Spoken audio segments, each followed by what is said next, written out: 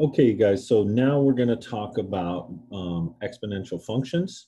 Um, because we're talking about exponential functions, obviously we have to know a little bit about laws of exponents.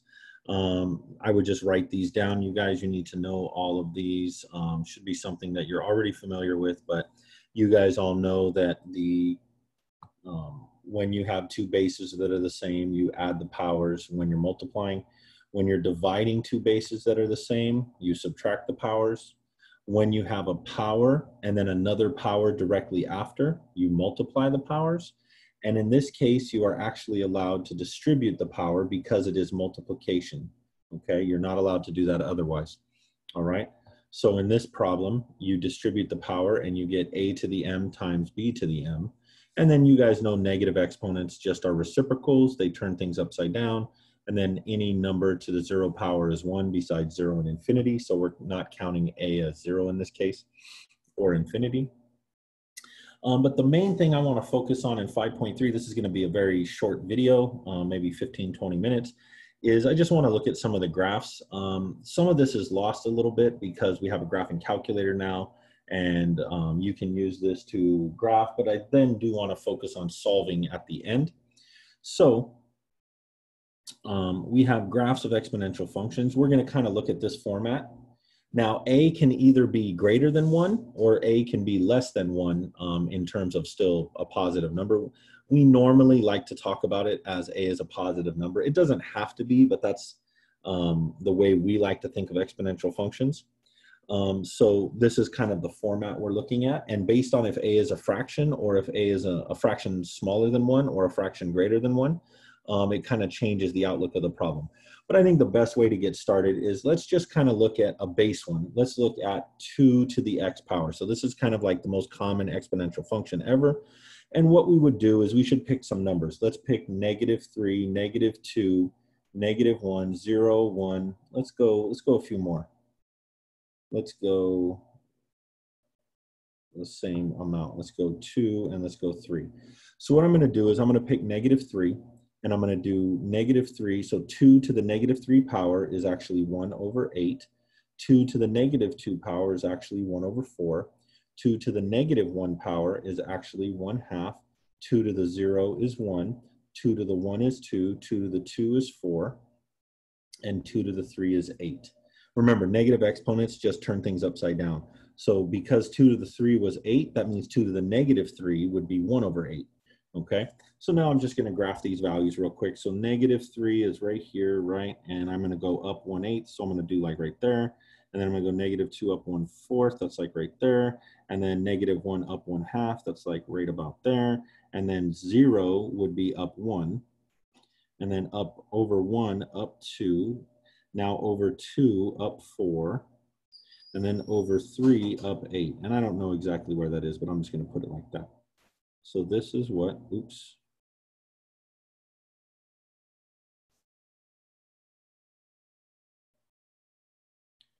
okay? So by the way, this graph will never touch the x-axis. It'll get infinitely close, but never touch, okay? Because no matter what, whenever you do two to any power, it will not become zero unless that power is negative infinity. But we're not dealing with that. We can't actually plug and plot negative infinity. So we're not gonna do with that uh, or deal with that. We can maybe talk about that in Calc 1. Um, but that would be what my graph looks like. So what I wanna show you is what you know about transformation still behaves the same. So this graph looks a certain way and it looks like it crosses at one. So what I'm gonna do is I'm gonna have this new graph cross at two.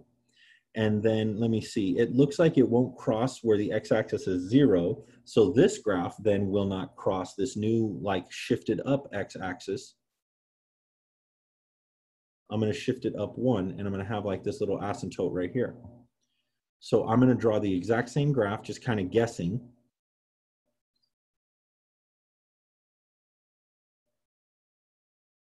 and it's going to be the same thing. Okay, now I'm going to take out my calculator and I'm just going to verify that that's what would actually happen.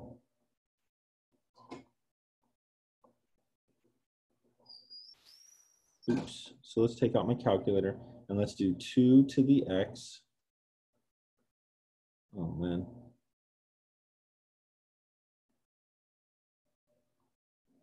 So we got 2 to the x plus 1. And you know what? Let's graph 2 to the x also on the same graph. So there's that, and then there's that. So basically, the blue line is the 2 to the x plus 1. So it's the exact same graph, shifted up one. Let's see what happens when we mess with stuff.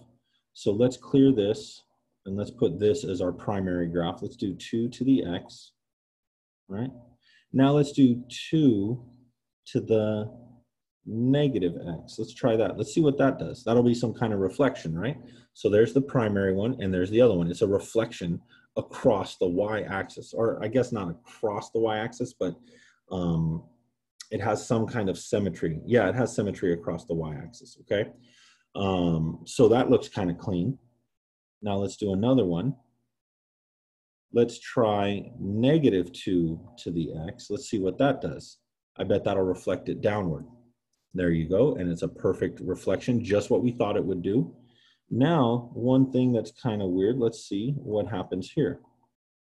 Let's do 2 to the power. Um, did I already do negative x? I can't remember if I did this one or not, you guys. Or you know what, I think I did do this one. Let's do 2 to the x minus 1. Let's see what that does.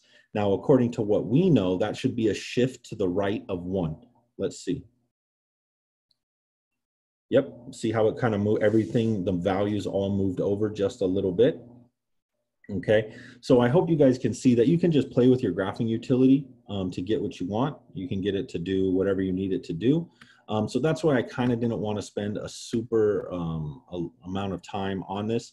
I'll just do this real quick. Let's do negative three, negative two, negative one, zero, one, two, and three. But again, I kind of already knew what was going to happen. So when we plug negative 2 and negative 3 in there, we get 1 eighth plus 1 is 1 and 1 eighth. This is 1 and 1 fourth. This is 1 and 1 half. This is 1, or no, I'm sorry, this is 2, right? Because when you plug that in, you get 1 plus 1, which is 2. This is now 3. This is now 5. And this is now 9. And we would get something similar to this. Okay, but notice none of the values are ever going to go below this green line right here at 1, right? None of the values are ever going to go below this green line because this green line is like our new x-axis, our new asymptote, okay? So um, I just wanted to show you guys a couple of those. Let's look at what happens to the graph if I do, um, let's say f of x equals 1 third. No, let's say 1 half x. Okay, so let's take out our calculator. And let's go y equals. So now do parentheses 1 divided by 2, and then close parentheses to the x. Now something you might not expect happens. Okay, so we didn't do any reflections. What this is actually saying is, is that as x gets larger and larger, so this right-hand side of the graph is basically saying that as x gets larger and larger, you're getting closer and closer to zero. So let's see why. Okay, so you have your graph right here. So what this graph is saying is right here at one, oops, it's not supposed to cross you guys.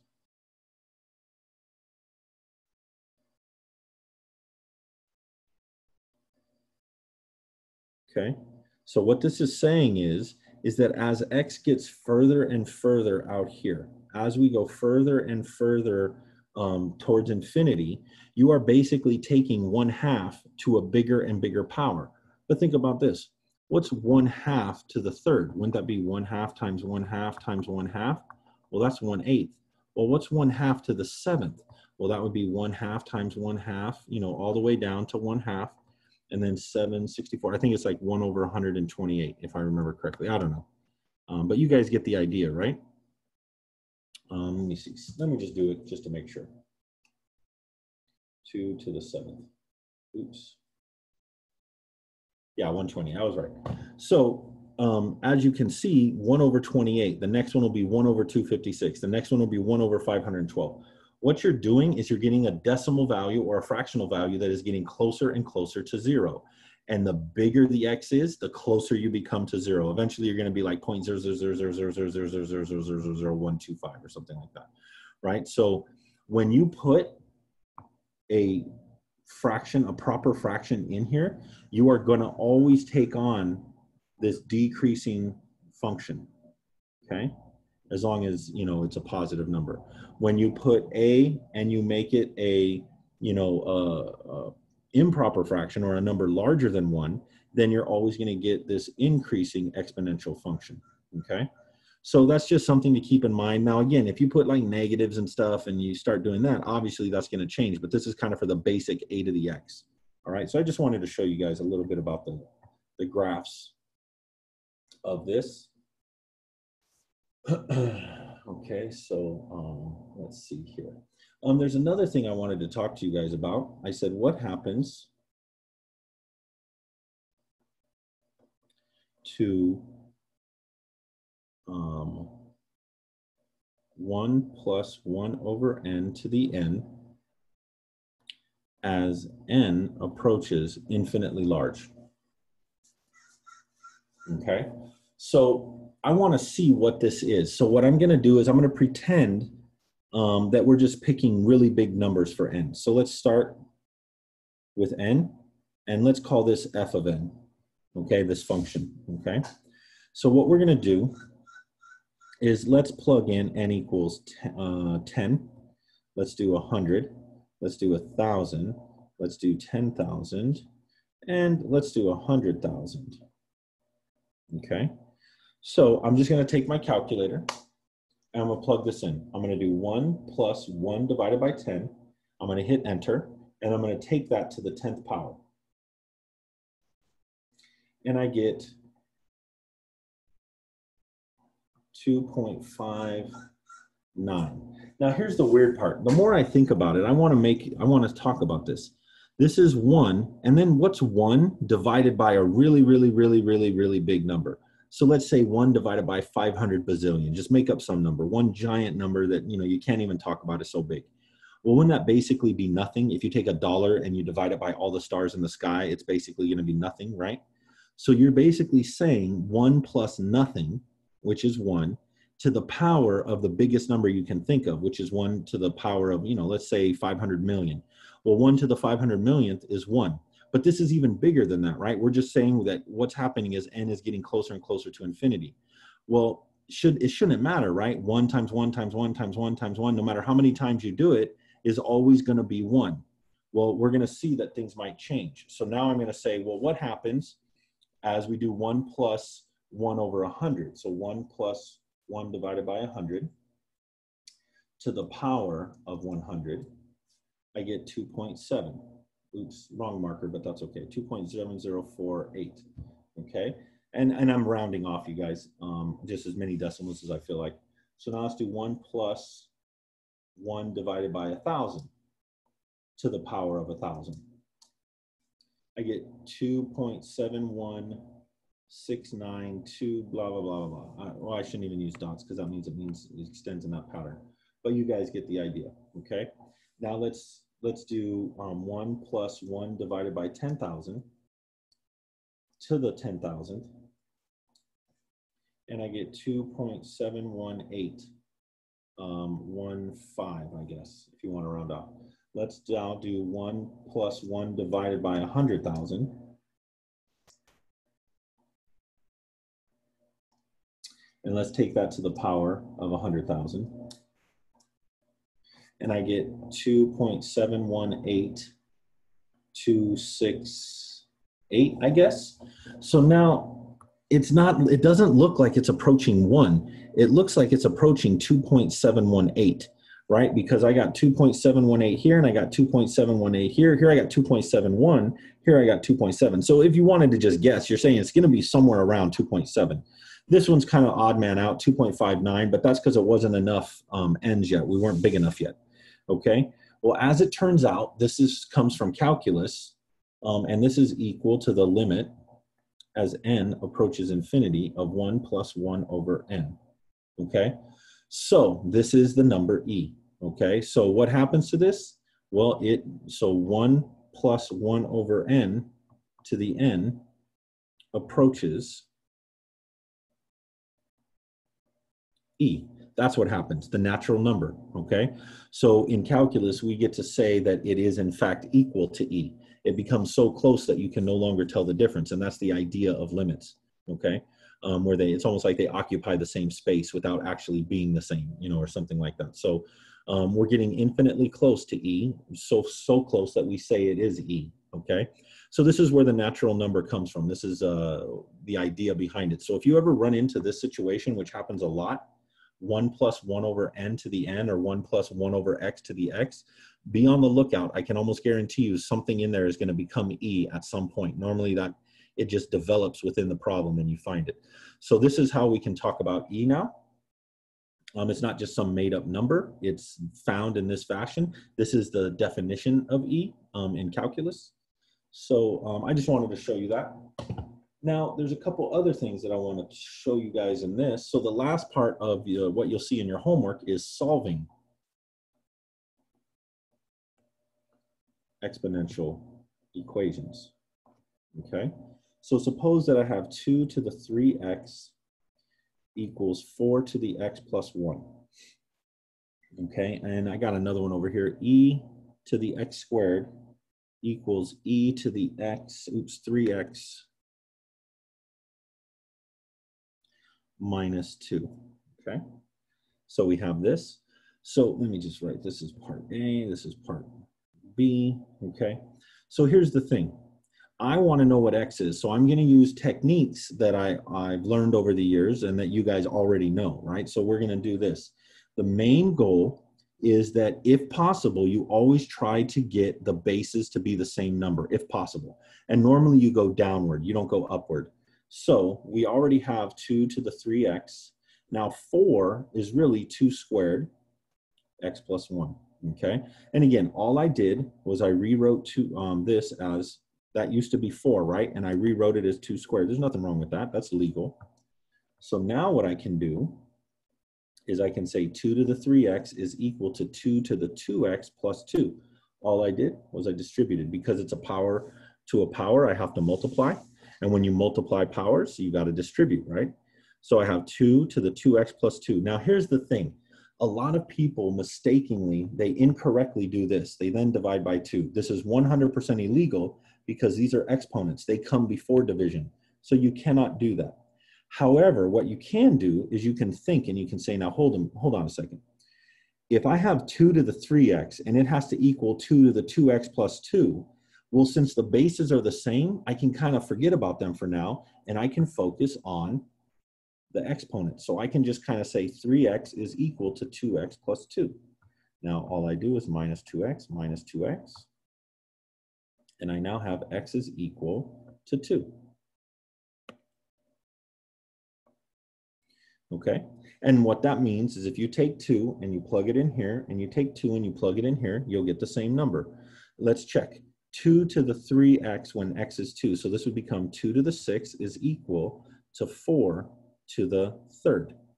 But this is 64, and 4 to the third is 64. So it does in fact work. So x to the, or x equals 2 is in fact our answer. So what I want you guys to remember is I didn't divide these twos. I did not do that. That is wrong to do. That's not what I did. What I did was, is I said, because the bases are the same, I can now focus on the exponents because the only way that the left side is going to equal the right side and the bases are the same is if the exponents are also the same. So I can kind of like drop off the bases for now and just worry about the exponents. Okay, so let me have you guys try this one over here. So take a minute, pause the video, try to solve this one in the same way that I just did that. The bases are already the same, so you're good. All right, so hopefully you unpause the videos and you notice that this x, I'm sorry, this e and this e are the same base. So what we can do is we can just set x squared equal to 3x minus 2. Now this becomes x squared minus 3x plus 2. I just moved everything over to the other side, set it equal to 0. This becomes x minus 2, x minus 1 equals 0. So x equals 2 and x equals 1. And this means that if I plug either one of these back in, I will get the left side equals the right side. It will be, in fact, the same number. Okay, does that make sense? Hopefully you guys are okay with this. Let's look at another one. Let's look at C. Okay, let me see. I'll, find another one here.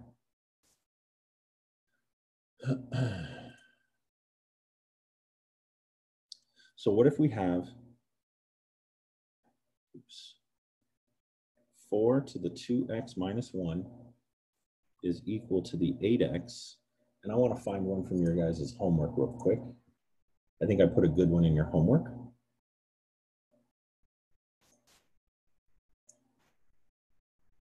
Or a couple good ones, I should say. Yeah, this one. So this is a good one. So this one says 36x times 6x squared equals 1296 squared. Okay, so pause the video a second and try these two problems real quick. Okay, so hopefully you did this one. You made both of the, oops, did I write this one wrong? Uh, I think I may have written this problem wrong. This is 8 to the x. I'm sorry, well that butchered everything. You guys probably struggled a lot. Sorry about that. It's 8 to the x. Okay, repause the video. Let's give it a shot. Okay, sorry about that, you guys. So now you should have 2 squared to the 2x minus 1 is equal to 2 cubed to the x. So remember, all I'm doing is rewriting these as what they used to be. 2 squared is the same as 4, and 2 cubed is the same as 8, so I haven't done anything wrong. Now this becomes 2 to the 4x minus 2, because I have to uh, multiply, and this becomes 2 to the 3x. Once again, because the bases are the same, because the bases are the same, I can just focus on the powers. That's the only way the left side would equal the right side. So now I'm going to subtract 3x, subtract 3x, add 2, add 2. This is just a coincidence. It's the same answer again. So x equals 2, once again. All right? So hopefully you guys are okay with this one. Now this one's a little bit harder. Um, let me see here. Um, this is actually 6, 36 is really 6 squared, right? And that's 6 squared to the x times 6 to the x squared equals now 1296. I have a feeling that that has something to do with 6. So let's do 6 to the fourth. 6 to the fourth is in fact 1296 and it's squared. So now let's clean this up. Now this is going to become 6 to the 2x times 6 to the x squared and this is 6 to the 8, right? When you do all of our all of our properties of exponents or laws of exponents. So now let's see. Well, these have the same bases and they're being multiplied. So I can add the powers. So this becomes 6 to the x squared plus 2x equals 6 to the 8. Now, once again, our job is complete. The bases are the same, so now we can compare exponents. x squared plus 2x equals 8. x squared plus 2x minus 8 equals 0. Um, let's keep going x minus, let's say x plus 4 times x minus 2. So x equals negative 4 and x equals 2. And these would be our two answers. Okay, and both of these would work. That's what this is saying is that you plug either one, negative 4 or 2, into the original, and you will get an identity. The left side will equal the right side. Now, I had a harder one in here, something um, a little bit harder. Oh no, I guess we'll save that for, um, we can do that. Well, I, let me give you one more. Um, so this would be what, E? Let's say that we have e to the x squared equals e to the 3x times 1 over e squared, okay? So here's the thing. Remember that we talked about negative exponents can account for reciprocals. So I could rewrite this by using negative exponents. Okay, now, I'll, oops, I'll give you guys a second before I just um, talk about it. So go ahead and see if you guys can rewrite this.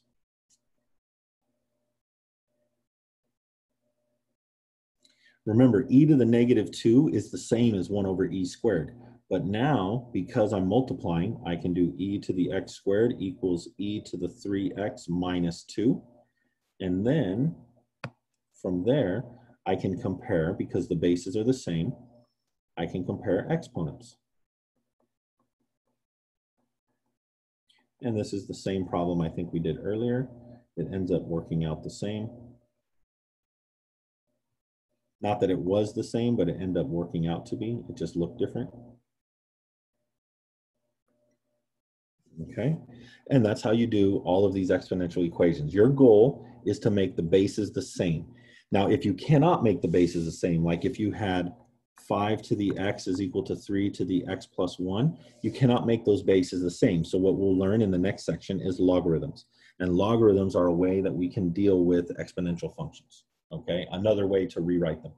All right, you guys, that's gonna do it for this video. We'll talk about this um, in the next couple videos, but um, please get started on the homework. I had to give you a little bit more because um, I think I asked in some of the sections like seven or eight like concept questions where it's just, you know, real quick answer them. So it looks like more than it is. Um, but that's gonna do it for this video, guys. Thanks for watching.